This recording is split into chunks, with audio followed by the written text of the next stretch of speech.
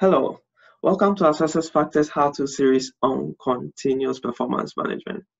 In our previous session, we looked at how to set goals for our direct reports using the SuccessFactors solution. Now, today's session is a follow up on that. All right, and in today's session, we are going to look at how to create activities. Now, when managers set goals for direct reports, it is required of the direct reports to create activities that they are undertaking to achieve these goals which are set for them. Now, this is very simple. And to do this, the direct report simply logs into the success factor solution, all right, and then comes to this home navigation or drop down menu and then clicks on it. Now, this will display a number of options and the direct report will just click on the continuous performance link. Now, once you click on that link, a separate or a new window opens, all right, where you have the activities tab, the achievement tab, and then the feedback tab. Now, since we're just going to add an activity, we're going to stay in the activity tab. To add an activity, you navigate to this icon here plus add activity and then you click on it. Once you click on it, this dialog box opens. Now the dialog box contains an activity name, status, and then linking the activity to your performance goals. All right, now the activity name just allows you to describe the kind of activity that you're undertaking. The status also allows you to attach a priority to the activity. All right, so you might be undertaking a lot of activities and you want to show which one is more important or which one you're investing more time into. All right, so if you choose the high, it means that you are investing most of your time into this activity and it's a high priority activity.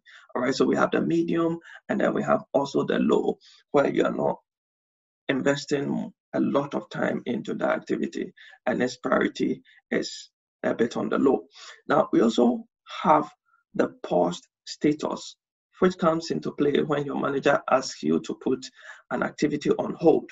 All right, now, if you are asked to cancel an activity, you just choose the cancel that status.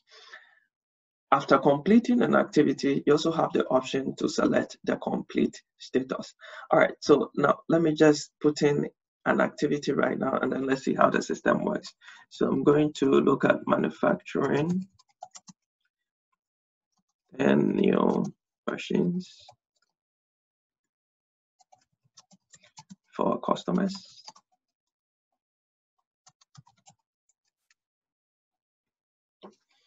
All right, so now after I've described the activity, I have to select a status. So I'm going to give this high priority status. All right. And then this success factor solution allows you to link every activity to a performance goal. Now, the solution wants to ensure that employees are not using the company time to do things which do not matter. All right, so every activity that you're undertaking, you'll be able to link it to a goal that is set for you by your manager. So I'm just going to do that linking here, and then I click on save to save my activity.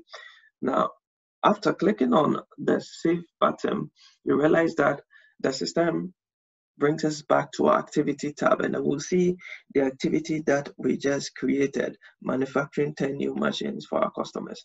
All right, now just beside that, you see this drop down link here, all right, where you can change the status of the activity. And we've gone through these ones already. Okay, so you have also some more options here where you have the option to request for feedback, edit the activity, or even delete the activity. Now, another as astonishing feature about this activity tab here is the add and update. Now, this one allows you to have some engagements with your manager.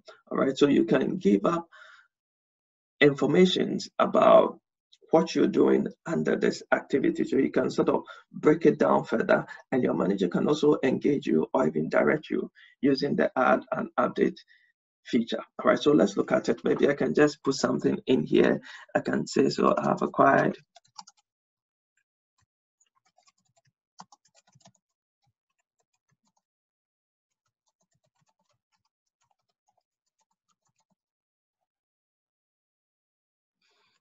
assembling. I've acquired a part of the machine for assembling. All right, so once I've done that, you see, I can also flag this update. All right, so so many things that you can do to it so that the manager will see that okay, this update is quite important. He has to just respond to it. All right, so once I've added an update, I just click on OK. My manager will receive the notification. He will come and check up on it, and then he'll be able to give me that continuous engagement that I need to probably undertake and be successful in this activity. That'll be all for today.